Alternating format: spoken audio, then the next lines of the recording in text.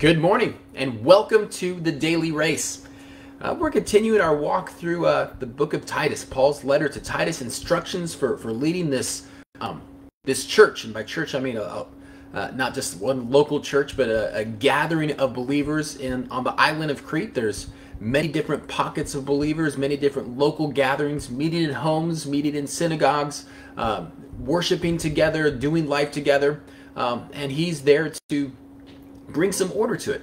They had planted these churches before. Now it's time to, to go back and make sure that they're established and ready for the future. So, bringing up the right leaders and um, also protecting uh, these these new believers from false teaching.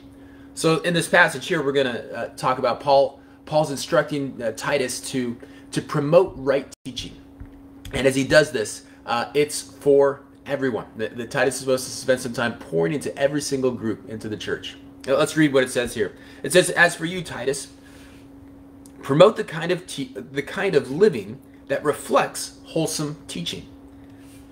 So, what does he say there? He says, "Actions and words." Uh, promote the kind of living that reflects wholesome teaching.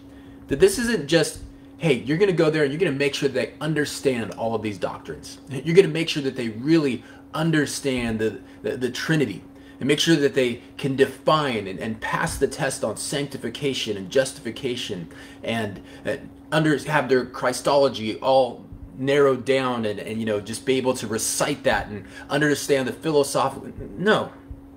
Promote the right kind promote the kind of living that reflects wholesome teaching. It's about application.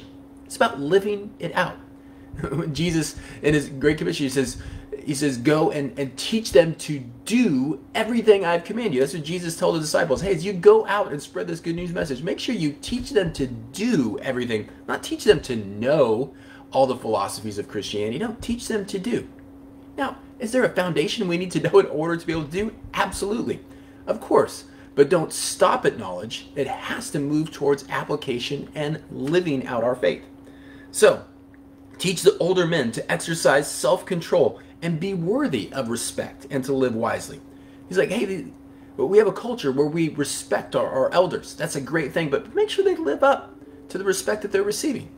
Tell these men to, to live in a way, exercise self control, that they are worthy of the respect that they are receiving, that they're being respected for the right things, not just because of uh, their age, but because of the way that they're living their lives and following Jesus. They must have sound faith and be filled with love and patience. Similarly, teach the older women to live in a way that honors God. Now, they must not slander others or be heavy drinkers. Instead, they should teach uh, they should teach others what is good. So he's talking to the, to the women there and, and letting them know, hey, you've got some some some women here who are are known uh, for their, their their nurturing ability, known for you know bringing up this next generation. Make sure that you employ them to be teaching as well, to be pouring into the next generation with their lifestyle, uh, with with what they're doing and with their words. These older women must train younger women to love their husbands and their children. You know, that's something that, that, only they can. You know, Timothy, you're not gonna be able to teach uh, women how to to have a, a, healthy marriage with their husband, but hey, employ these older women to do that. Um, it then goes on. and says, in, in the same way, encourage the young men to live wisely, and you yourself must be an example to them by doing good works of every kind. Let everything you do reflect the integrity and seriousness of your teaching. Teach the truth so that your teaching won't be criticized. Then those who oppose us will be ashamed and have nothing to, bad to say about us. So then he's telling Timothy about his approach. First, live it out. It, it, whatever you're teaching, you have to be living this out in your life. If there is hypocrisy, if there is your words preaching one thing and you are uh, acting on another thing, Titus, this is this is not going to work.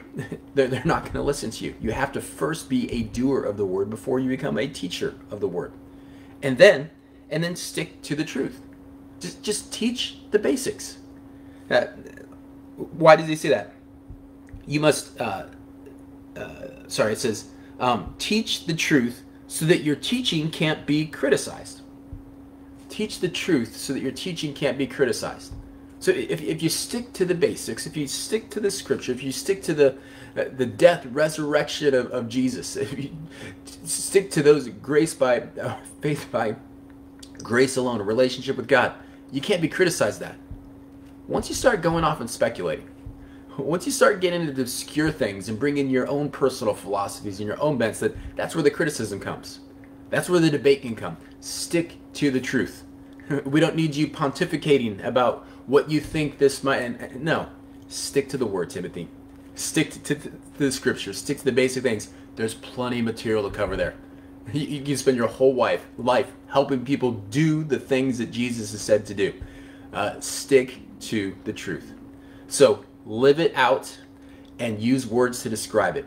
Be an example of what Jesus calls us to do, and and encourage the people to put it into practice. Young and old, male and female, everyone. And then it wraps up with one last group, and this is this is one of those passages of scripture that is it's difficult to deal with. Let me just read it here. Slaves must always obey their masters and do their best to please them. They must not talk back or steal, but must show themselves to be entirely trustworthy and good. Then they will make the teaching about God, about God, our Savior, attractive in every way. Ah, like this, we read this in our context here 2,000 years later and think, man, Paul, why didn't you just tell them, like, fight against slavery? Let these people free. It's wrong to, to own another human being. Like, why, why aren't you fighting this, this moral fight against slavery here? And that's, that's a question we won't know why they didn't pick up this cause at this point. But what he's saying is that in this contest, slavery exists. Like we know through history that, that eventually the church is going to get to this. And they're going to respond to this. The end of slavery comes because of Christians, but but it doesn't at this point.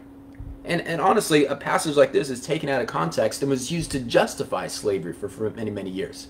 That hey, you know, the Bible talks uh, about slavery, about how people, you know, should behave as slaves. And that's not really the, the context of this passage though. The context is the fact that there are slaves that have become followers of that have become followers of Jesus. So as a follower of Jesus whose life situation is in slavery, how do you follow him?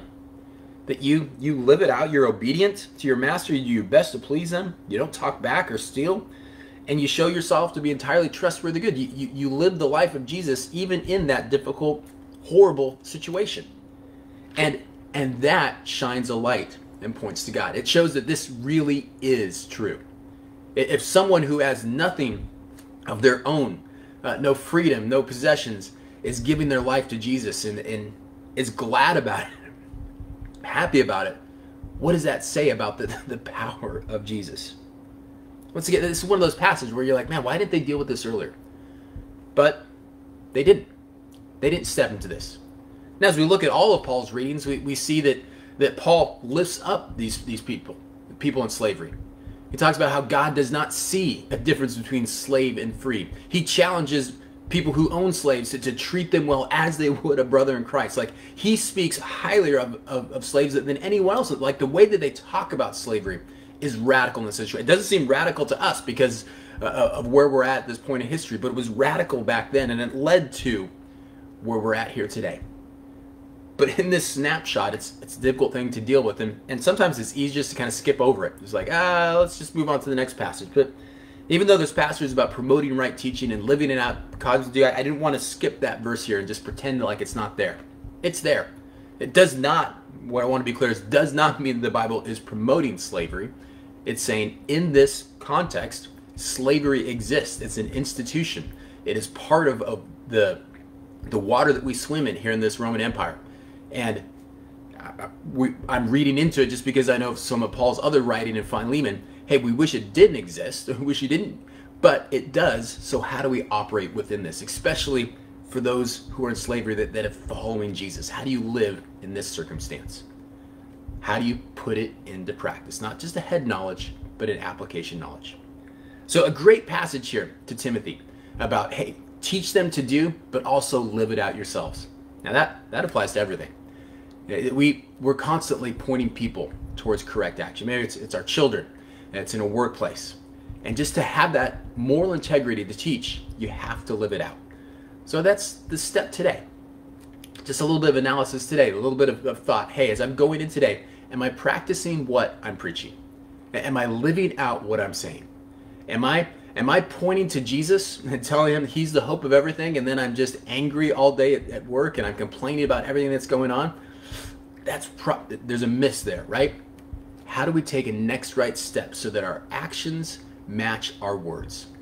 That's the challenge for today, and that was the challenge that that Paul was giving Titus in this part of the passage. Tomorrow we're going to continue to pick it up a little bit more as he continues to instruct them. Hey, if you're following along on the daily race, I encourage you subscribe uh, like the page if you're on Facebook or Instagram, YouTube. Uh, that helps us be able to, to extend the reach of, of the, the daily race as more people subscribe in that way. Appreciate you you watching every day, and so many of you guys have already done that. Uh, but if, if you haven't done that already, man, that's a huge help to uh, the daily race and being able to make it available and viewable to, to more and more people. So if God's blessed you through this, that would be a simple way to help spread that message. All right, let's go ahead and start our day with the word of prayer.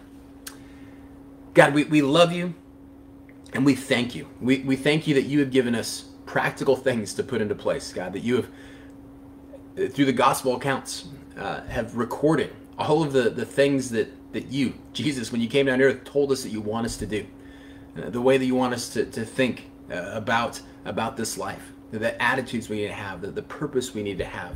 Uh, the way to, to navigate through relationships and and, and our obligations. And, and Jesus we just want to become more and more like you help us not to get caught up in, in the, the things that can distract us good things weird things bad things God just help us to keep focused on you and, we know that as we start our day with you today that's that's the beginning of it so as we take our first step with you to here today God we pray that you would guide and direct our next step and the step after that and the step after that we want to stay close to you today, following you each and every opportunity we get. In Jesus' name I pray. Amen. Amen. All right. Well, hey, I hope you have a great, great rest of the day. Look forward to seeing you 24 hours from now, right back here on The Daily Race. Love you guys.